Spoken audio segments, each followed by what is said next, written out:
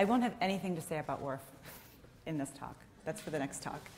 Um, but I will say that um, if any of you are interested in experiments on linguistic relativity or linguistic determinism, um, this is a literature that I like to keep up with. And I've taught a few honors seminars on languages, categories, and cognition. So if you are looking for something to talk about during the coffee break, I'm happy to have conversations about it. Okay. Um, but this is not that. Um, so, is this working? Do I have to? Um, by the age of four or five, uh, we now know um, children display much of the linguistic expertise as adults do in syntax and semantics. So um, at this point, this is very different than 20 or 30 years ago. At this point, we kind of yawn and we're like, of course, children know how to do this. Um, surprising that have this ability by four or five. Um, but we now know that they can do a lot of things like um, deliver um, interpretations of sentences involving quantifier raising, which is an abstract, covert movement um, of quantificational phrases and other um, types of um, degree phrases, for example, throughout the grammar. Um, they also appreciate the ambiguity of question answer relations and much, much more. This is just to give you a glimpse of the kind of complicated syntactic and semantic operations that they have um, exhibited an ability to, to access. A glaring except of the you know, compared to the way that children and adults um, pattern together in other areas, um, is in pragmatics. So children have been observed to lag behind adults in their ability to initially deploy pragmatic reasoning. Um, so I, I use the adverb initially in there because what I hope to do is show you a host of evidence that shows they diverge from adults, and then show you a host of evidence that um, illustrates that they actually pattern quite like adults if you um, add in a little bit more support. So, the most notable case of children patterning differently than adults um, is with scalar implicatures. So, um, this morning's talks and the um, introduction to this afternoon session um, gave us a glimpse of implicatures, and I'm going to be talking specifically about one sort of implicature, which is scalar implicatures, a type of quantity um, maxim reasoning.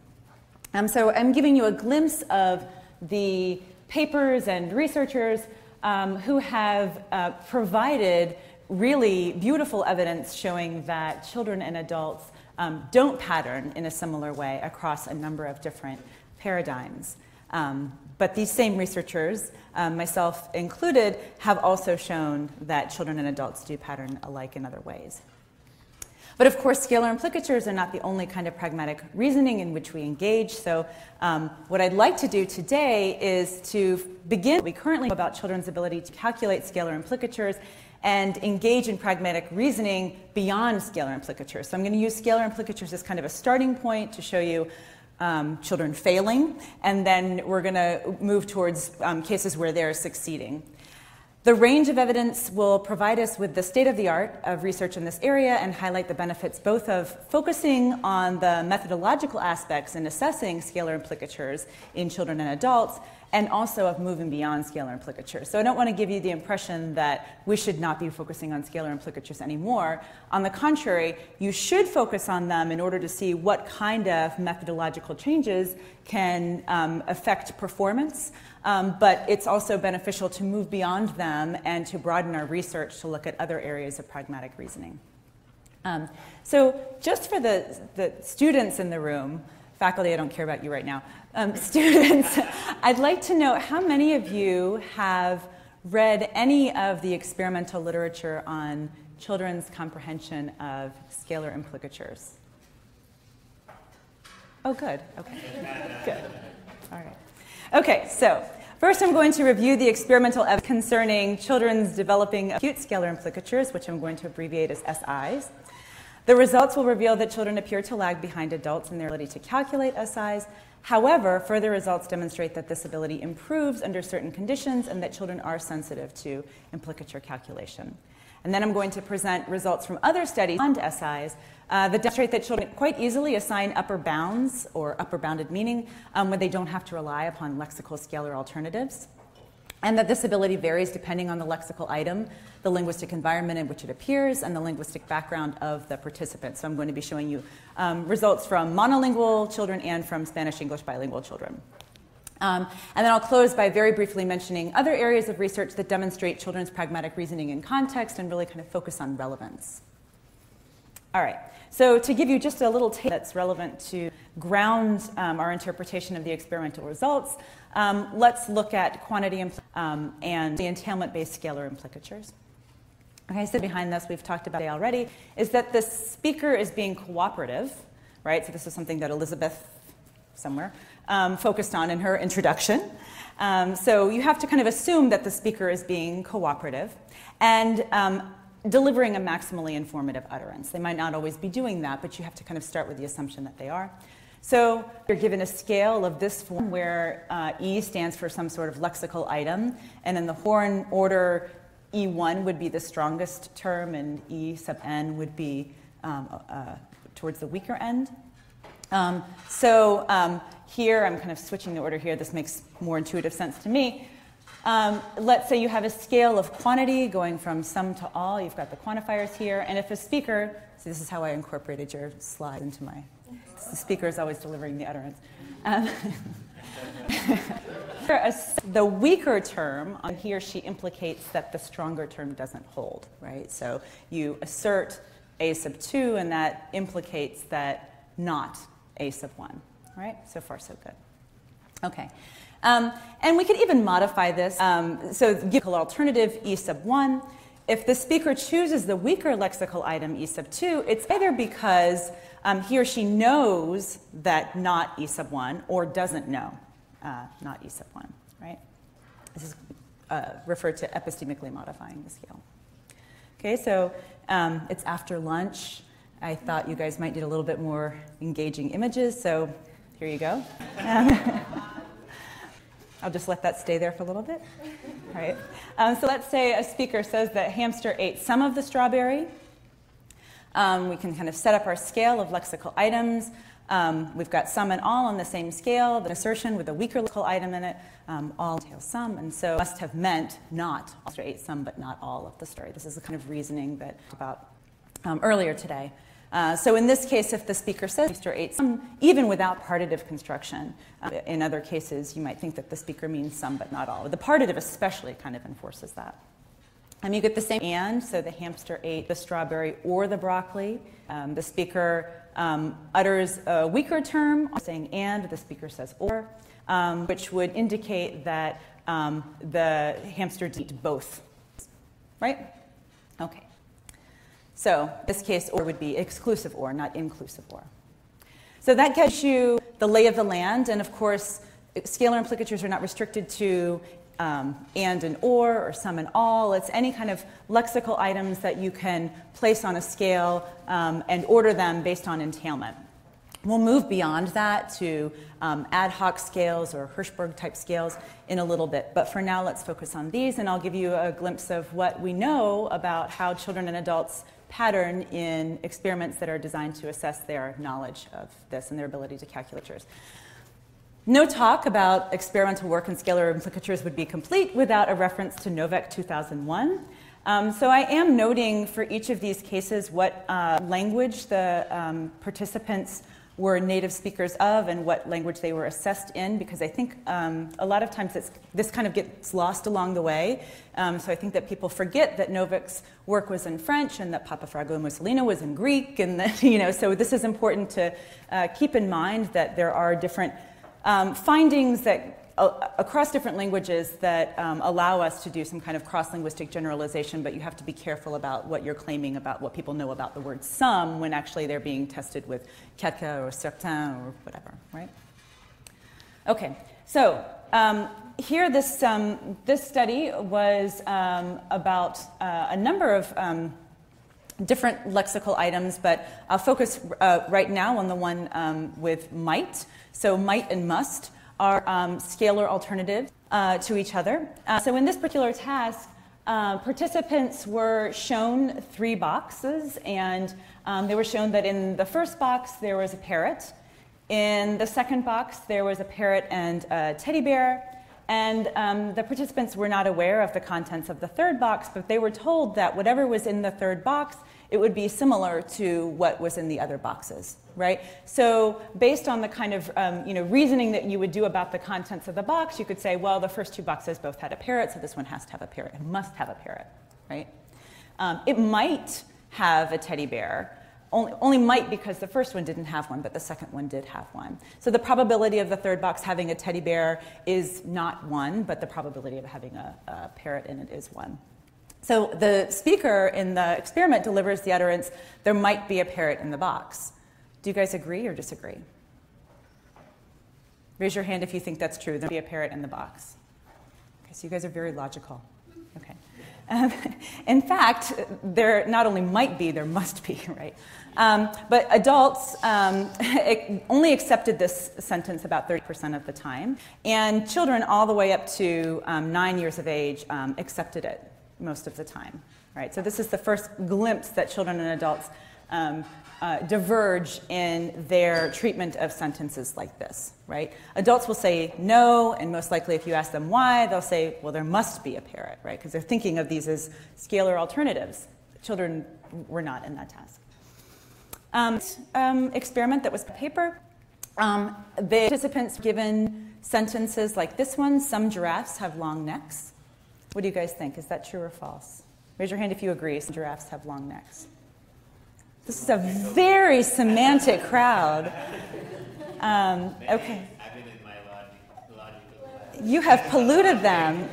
They are non adult like. Yeah. Okay, so none of you are participating in any of my experiments. Um, all right, so most other normal adults who are not taking the summer school at UQAM um, will re- reject this statement. Okay, so here, just as a reminder for those of you who agree. So, giraffe wrong next. Okay. Um, okay, so the acceptance rate that he got was 41%, and children all the way up to 11 years of age accept sentences like this.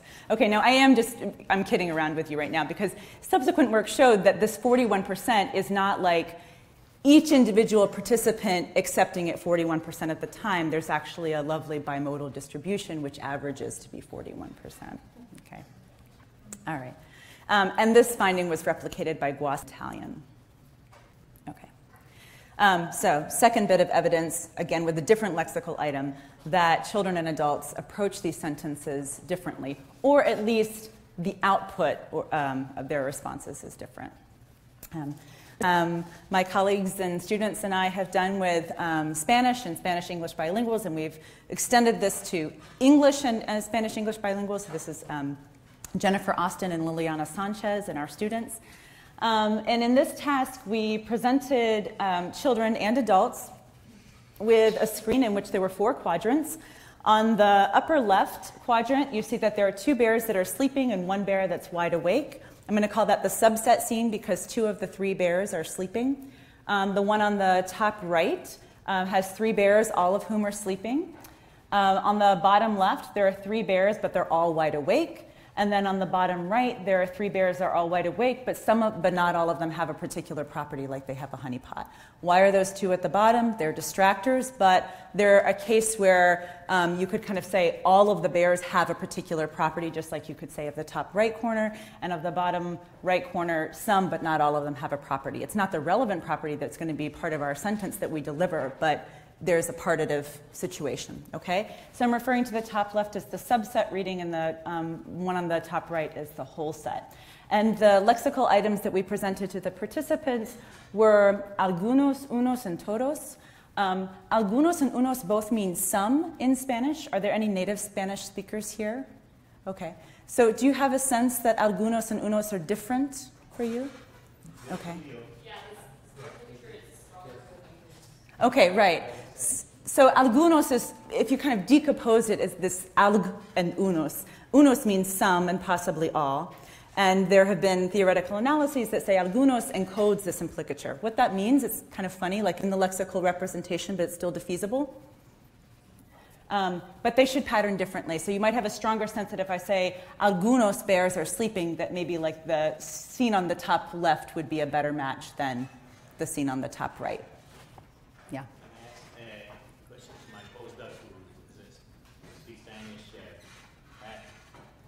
usually are there, hay más gente, en, más objetos en algunos o en unos.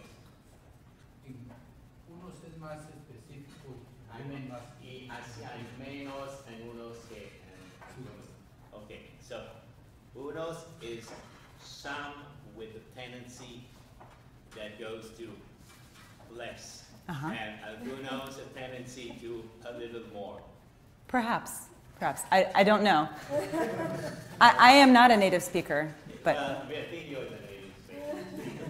so but I do know that they're both not todos, and todos is the universal quantifier. Okay. definitely. So good. All right. There are variations on some. Okay.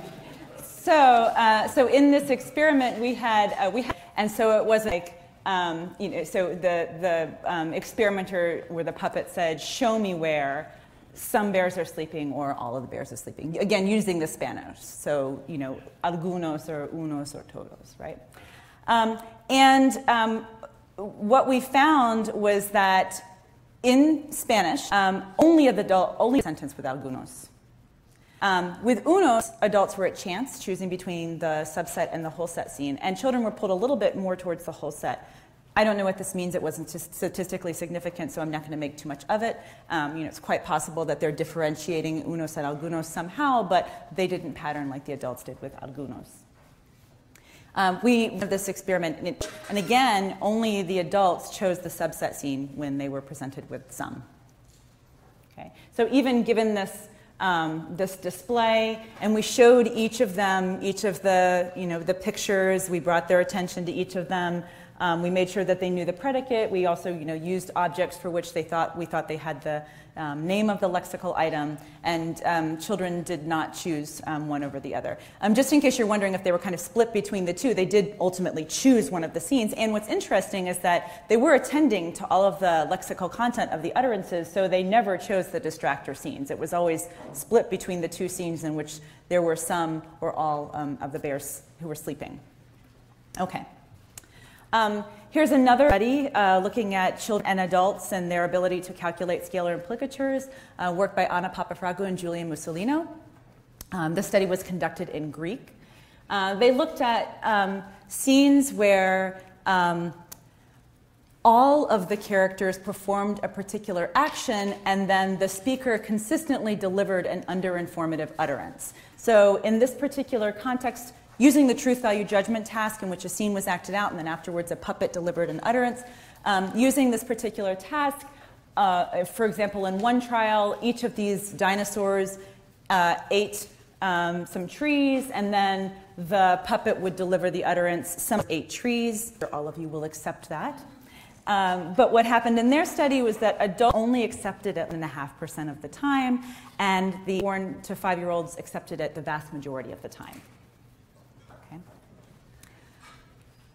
Okay, so one of the I do want to point out is, um, you know, throughout our journey of looking at the experimental evidence on children's and adults' approaches to scalar implicatures, is that we now know, um, you know, more than a decade after these original studies, that using either a within or between subject design makes a huge difference. So Papafragou and Musolino had a completely um, had one particular design. where They only used utterances with some.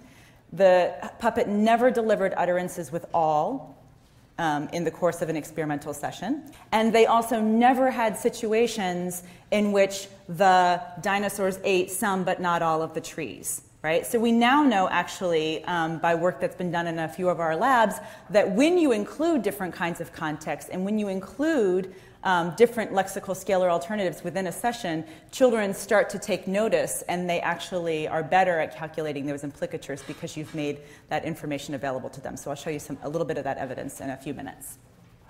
Okay? So, in a way, having this as a, an initial baseline kind of tells us children are not normally inclined to do this unless you give them a little boost, right? Okay.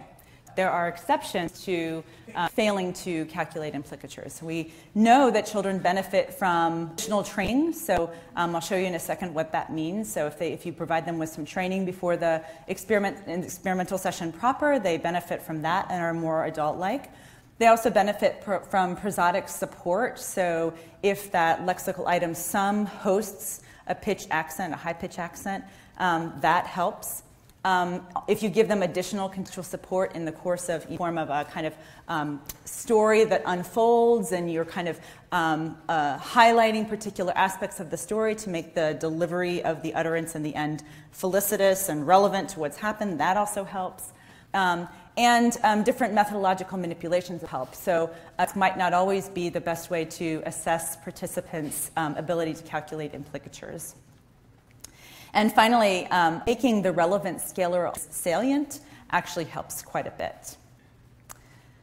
Okay, so here were the original results from Julie Musolino's um, experiments. So what we're looking at on the y-axis is the proportion of rejections, and the reason why we're looking at the rejections is that this, there was this assumption that um, adults would reject the underinformative utterance, right? So remember, it's in a context where all of the uh, dinosaurs ate trees, and the puppet says some of the dinosaurs ate trees. They also looked at a case where, say, three horses jumped over a fence, and the puppet says two of the horses jumped over the fence. A case where a character finishes a puzzle, and the puppet says that the character started the puzzle. These are all underinformative utterances. Don't pay attention to what's happening with the numerals because that is a whole other talk we could go into. Um, so just focus on what's happening on the far left set of bars, that's some and all. The gray bars are the adults and the white bars are the children. So notice that the, the gray bar is really high, that's the high rate of rejection from the adults, and the white bar is really low. So children are not rejecting these utterances like adults are. But then they ran a follow up study in which they proceeded with a training session where they introduced the children to um, a puppet um, or Minnie Mouse and said she says funny things.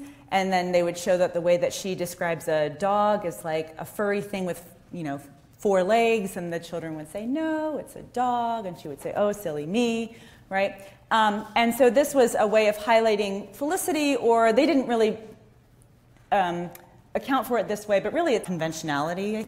Um, and so what you see on the right set of bars now is the, just the children, and now the gray is the old set of results, and the white is the new set of results. And again, if you just focus on the um, set of bars on the far left, on that right side graph, you can see that the rate of rejection has gone up significantly. So now children are rejecting about 50% of the time. So now they look more adult like. They're not completely adult like, they're not rejecting you know, at a rate that's close to ceiling, but they're rejecting a lot more often than they were before.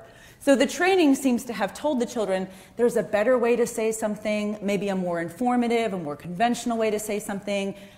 Pay attention to that, right? It, the training wasn't about scalar implicatures or quantity or anything like that, but it really seems to have highlighted that for them, and so their performance improved.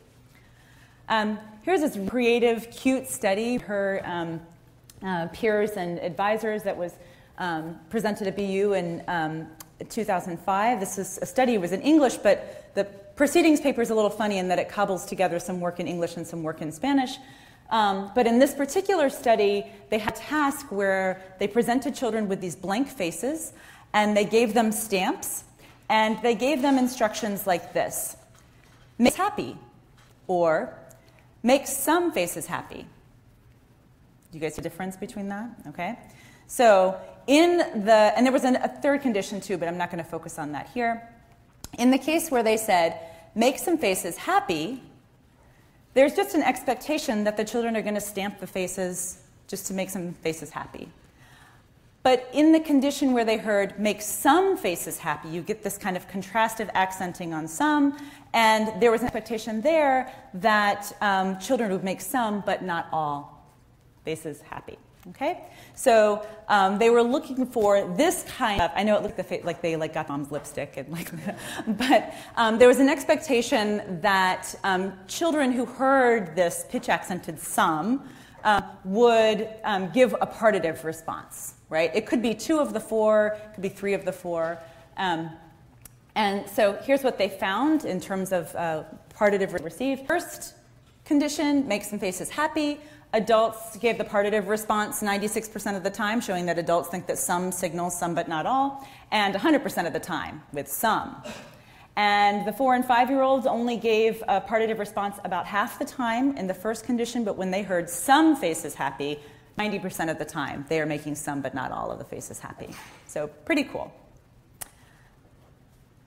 Um, Dimitri Swiss and Anna Papafragou that's coming soon, um, which has a you know, really nice design um, and really lovely results, um, showing us that um, when you make the scalar alternatives relevant to children, that really affects their ability to calculate implicature. So they used a within subject design, meaning that within a single session, they manipulated um, presenting children with some and all, so they heard both lexical items within the session, and they also saw scenes in which um, the predicate applied to a, a, proper subset or the entire group um, that was in the scene. So, for example, they had these um, novel characters called Blickets, and um, maybe three of the four Blickets had an umbrella, and maybe you know four of the Blickets had all four of the Blickets had a crayon. Um, and so they had different conditions. One condition in which the children heard utterances with all, um, utterances with some, and then some of those uh, utterances were felicitous and some were infelicitous depending on the context. Okay?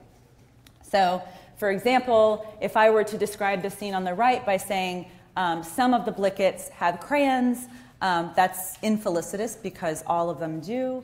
Um, that would be an okay way of describing the scene on the left, but it would be false to say that all of the Blickets have umbrellas for the scene on the left, right? So it's really uh, important that all of that was presented within a single session, right? So the children were getting some utterances and utterances. And what they found was that children are more likely to pass, meaning they're more likely to pattern like adults and uh, reject the infelicitous sentences when they're in the mixed condition. Um, and what's really interesting is that it wasn't just the miscondition that mattered. What really mattered was that um, the, um, the noun phrase that was delivered, so umbrellas or crayons, um, was relevant to the utterances that were being delivered. So um, if it had to do with calculation of some but not all implicature for umbrellas, it didn't matter that there were other uh, infelicitous utterances that you know, ap- applied to other nouns um, or objects in the same session, um, children were really kind of paying attention to some and all within a particular um, kind of set of objects. So that, that really mattered. So the children were attending to the information that was in the utterance and they were attending to the relevant scalar alternatives. So their conclusion uh, was that children do not generate the stronger alternative so if you say an utterance with some, they're not going to automatically think, aha, you could have said all. They're not going to do that spontaneously. Um, and the stronger alternative has to be seen as a relevant alternative, right? So even if you have other utterances with all in there, if you're talking about all of the people eating Subway sandwiches and then the scenes are about like Blickets having umbrellas, that's not relevant to them. Okay. Um, the UCLD conference in, in the fall, um, my colleagues and I presented uh, work um, looking at uh, English, native English speaking children and adults, and the Spanish English bilingual children that we've been working with. Um, also using a within subject design um, with a truth value judgment task. Um, similar to Dimitri's and uh, Anna's work, we included both some and all within an experimental session, and we also had true and felicitous and infelicitous context in one session. Um, so it was really funny as we were presenting our work, Dimitri came up and he was like, I've got this paper that does the exact same thing. And we were like, yes, our work coincides. Um, so we also found that um, in the case where you have manipulated within a experimental session, um, children's performance uh, improves. So in this case, we're looking at is the monolingual English speaking adults. Um, the blue is the monolingual children, they're native English speakers. And then the blue and white striped uh, bars are the bilingual children. Uh, so in the case where, um, the, so the far left is where um, the puppet delivers an utterance with all, but only some of the characters had the target property, so it's false. And so uh, all three groups are rejecting that utterance. The bilingual children are a little bit noisier than the other groups um, but they're still rejecting it. In the case where the puppet delivers an utterance like, all of the boys scored a goal, and in fact, all of them did, that's true, and everyone's accepting it. Um, in the case where the puppet delivers an underinformative, infelicitous utterance with some, so um, some of the boys scored a goal when in fact all of them did, um, what's interesting here is that the um, adults and the monolingual children trend towards rejecting it, but the bilingual children accept it.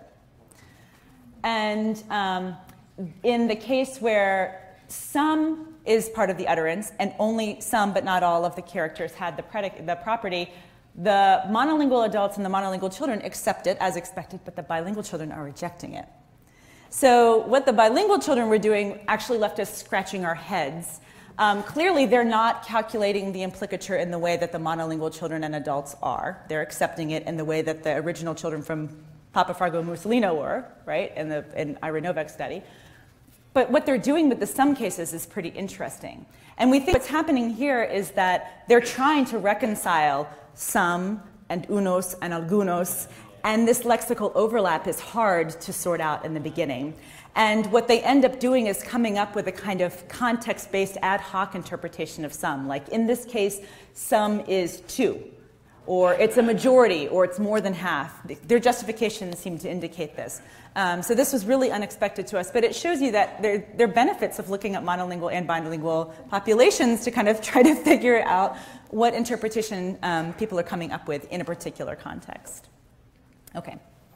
Another really nice study um, that shows us that children um, diverge from adults um, in calculating scalar implicatures, but still have um, pragmatic wherewithal from recent work by um, Laura Hochstein and her colleagues um, in English. So here I've given you a, a normal straight-faced person and a silly person.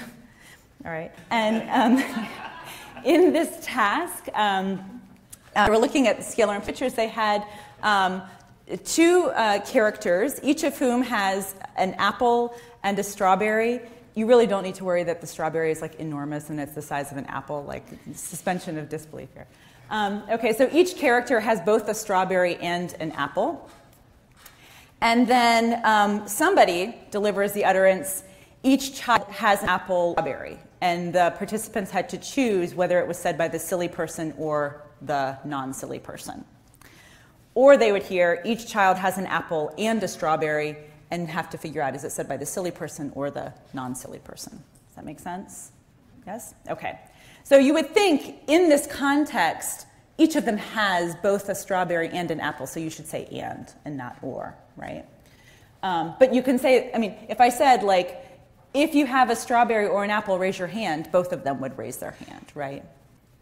Um, so if you heard each child has an apple or a strawberry, you might think, who would say that in this context? That must be the silly person, right? Um, and in fact, the four and five year olds did not use that kind of reasoning. They were 80% correct. They had no idea who would have said that. Um, but they ran a similar type scenario, and it was someone who was blindfolded. Okay, so they couldn't see the scene. And in this particular scenario, there was a cup and she plate she took both a cup and a plate. And, uh, for example, this target utterance was the girl took a cup or a plate, who said it? And this time, um, the four year olds weren't good at figuring out who said it. The five year olds were correct about 70% of the time. So the five year olds took the use of or as an indication that the person was ignorant. They didn't have enough information, right? Not that they weren't calculating a, you know, a scalar implicature that's not relevant. What they, they took the presence of or in the utterance as signaling that the person didn't know, right? But when they heard the girl took a cup and a plate, they thought the person probably knew, right? Okay. So what they argue is that uh, divergence from adults is not due to um, is due to an inability on the part of the children to access the specific lexical alternatives on a given horn scale, and it's not due to their pragmatic or general processing being at fault, right? So the kind of um, set of studies that we're looking at now that have been coming out in the last five or so years really show us that children do have an ability to deploy pragmatic reasoning. Um, what, what seems to be kind of lagging behind adults is an ability to automatically call up that set of scalar alternatives, right? That makes sense if like one of the things that's developing for you is your lexicon, right? Okay. Um, nice study by uh, et al uh, in 2000. In this particular scene, each farmer um, cleans uh, both a horse and a rabbit. Um, one, every farmer cleaned a horse or a rabbit. Another speaker says every farmer cleaned a horse and a rabbit. Who do you think said it better? And, right? Okay, so children know that too. Right, so they're given the choice between the two, recognize or and might be a better choice given the situation. Okay. Um, Katsos and Dorothy Bishop have a really great study. Um, how many of you are familiar with this study? No? Okay. So it's using a truth value judgment task, but um, looking for a different kind of behavioral response, which is a little bit more appropriate for calculating scalar implicatures. It's kind of like using a Likert scale, but kid friendly Likert scale. So instead of rating something on a scale of 1 to 5, you give small, medium, or large strawberries. Okay? Uh, so they had two experiments that they ran with 5 to 6 year olds. The first experiment used the typical binary judgment, so yes or no. Um, the second study used graded judgment. So if you think that the person said it in a bad way, maybe it's false, maybe it's not such a good thing to say, you give them a, a, small strawberry. If they said it in a really good way, you reward them with a really big strawberry. And then a medium strawberry would re- be reserved for like, eh, it's okay, part of it's right, part of it's wrong, something like that. Right? They didn't really talk about like truth value gaps or anything. Let's not go there. But what they found present children with infelicitous utterances in a task that asks them to deliver a binary yes no judgment. Children only reject the infelicitous responses 26% of the time, meaning that the vast majority of the time they're accepting them. Um, but the results differ when you give them an ability to provide a graded judgment. So, what they concluded was that children are tolerant of the infelicity in a binary judgment task, um, meaning that not that they don't recognize it, they're just tolerant of the infelicity. Um, the caveat here is that, again, they also used a between subject presentation. Okay, so here is the type of task that they administered to um, the children. Um, so the experimenter said to Mr. Caveman, um, let's see what the mouse picks up. And the mouse has a choice of the pumpkins, and the mouse goes and selects each of the carrots one by one.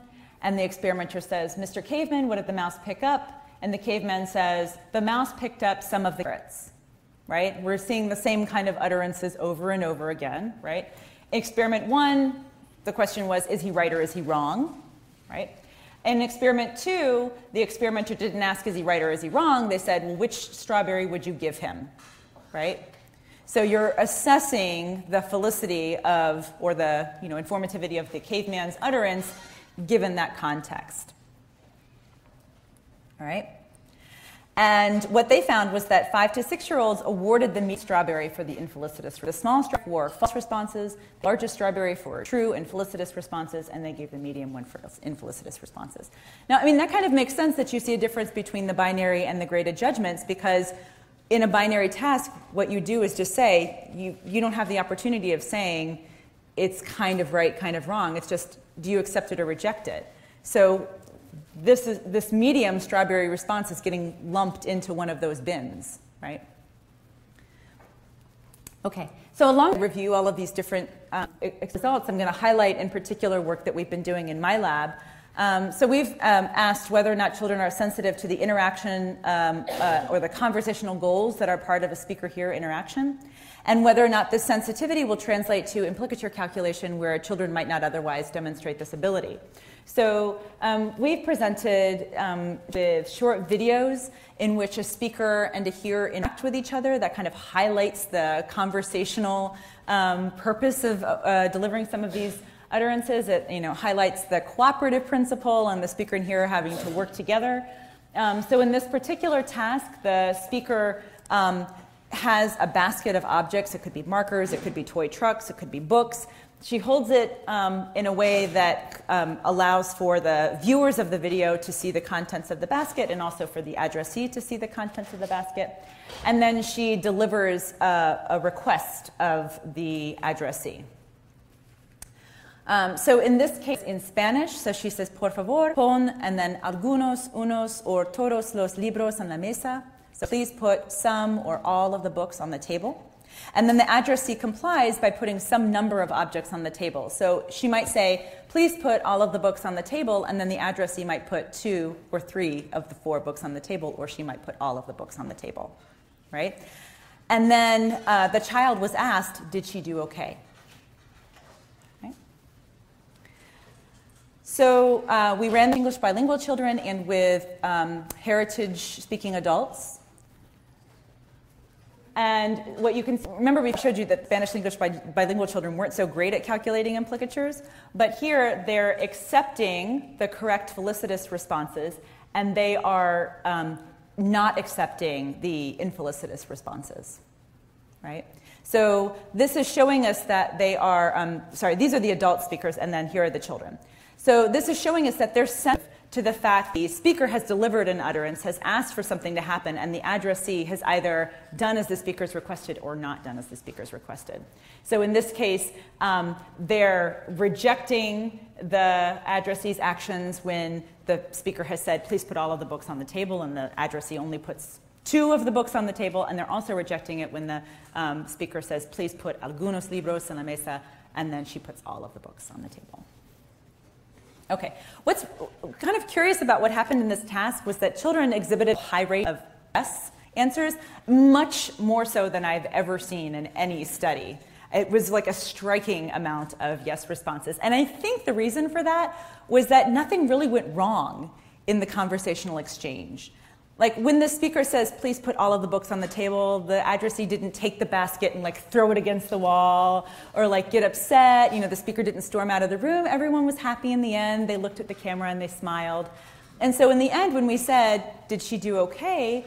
I think a lot of children thought, well, yeah. I mean, she did take books out of a basket, she put them on the table they were kind of giving her the benefit of the doubt. So nothing really went wrong. The communication seemed to go through. And I mean, at the end of the day, how, you know, how horrible is that that she ended up putting three of the books on the table instead of all of the books on the table? I mean, really, what's, what's wrong with that?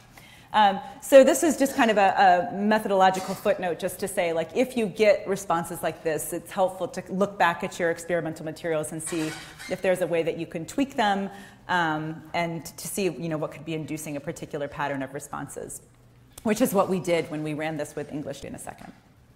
Okay, so the summary of um, you know, what we've seen so far is that children don't calculate entailment-based scalar implicatures as readily as adults do. They do calculate those implicatures, they just don't do it immediately. But when you give them increased contextual support, where the stronger alternatives are made relevant where the conversational goals or felicity are made salient, children perform near or on par with adults. But calculation of lexical features is certainly the only in which we're engaged. Um, children have been shown to readily demonstrate pragmatic reasoning outside of lexical entailment based scalar implicatures with robust results, and at an earlier age than they um, calculate scalar implicatures with additional support. Okay, so these other areas, young demonstrate sensitivity to non-literal meaning intended by the speaker and conversational dynamics. One case has been with particularized conversational implicatures, so these are also known as ad hoc implicatures in the experimental literature. These are implicatures that are dependent on context. So the way I'm talking about the difference here, and maybe some of you disagree, but the, the way I'm talking about the difference here is that with some or with or or with might, that lexical item in and of itself might trigger an implicature that a stronger lexical item that's a scalar alternative, um, which is a scalemate, doesn't hold, or more accurately, that the proposition that has that uh, lexical alternative doesn't hold true. Um, but these particularized conversational implicatures, or PCIs, are not associated with lexical scales, and they're not just contexts like conversational implicatures are. So I'm going to be one in particular, which is nothing else quantity implicature. So let's look at cute pictures of puppies. Uh, so in this case, uh, if I show you two scenes, one in which there's just one little puppy sleeping and one in which there's a puppy and a kitten sleeping, um, it's true in both of these situations that um, you could predicate being of a puppy. Um, but um, in one case, there's not just there's a puppy and a kitten sleeping. Um, so um, we can kind of set up a similar scale as we did with and and or all. So if the, if the speaker is sleeping, it's true in both situations, but you might think that the speaker intends reference to, to the scene on the left where there's just a puppy sleeping and not the puppy and the kitten sleeping. That's one of the issues that we situations that we've tested. Okay. All right. Um, what I'm going to be focused on is that um, this has been the topic of um, research in adult psycholinguistic literature. So there's a really nice study um, by Richard Breheny and, and colleagues where uh, people watched videos of objects going into boxes. So, for example, in this particular trial, they watched a spoon go into box A and a spoon go into box B. Now, the person in the video might have seen this, and that was it, and they didn't see the rest of the condition. They might have seen that a fork also went into box A. Then, so a speaker saw the spoons go into the boxes, but the condition they might not have seen. Then, um, a speaker who's in the video utters this um, sentence The woman put a spoon into box B, and a spoon and a fork into box A. Now, what's crucial is that particular part that's highlighted in blue so the, the woman put a spoon into, the idea is that they've exhausted reference of the objects that have gone somewhere into some box. And if you saw the entire scene, you would think, aha, that must be about box B and not box A because box A has both a spoon and a fork in it. But if all you saw was spoon and spoon, then you wouldn't be able to make that deduction. You would hear the woman put a spoon into, and you'd be thinking, ah, spoon into where? There's a spoon in both, right? I mean, not that you would get so worked up about it, but calm down a little. Um, okay, so they looked at anticipatory looks. So when the speaker only saw a partial spoon and spoon, there was no early anticipation of the target, so they're looking at eye tracking. But when the entire sequence, spoon, fork, um, then participants anticipated the correct reference, box B, between the onset of um, into and the point of disambiguation box. So they're doing this rapidly. Okay. Um, Bishop, um, in that same earlier, also provides some information about um, particularized conversational implicatures in child language studies. So, in addition to their utterances with some, they also had no, what they called non-scalar um, condition trials. So, in this case, a dog painted a heart and a triangle.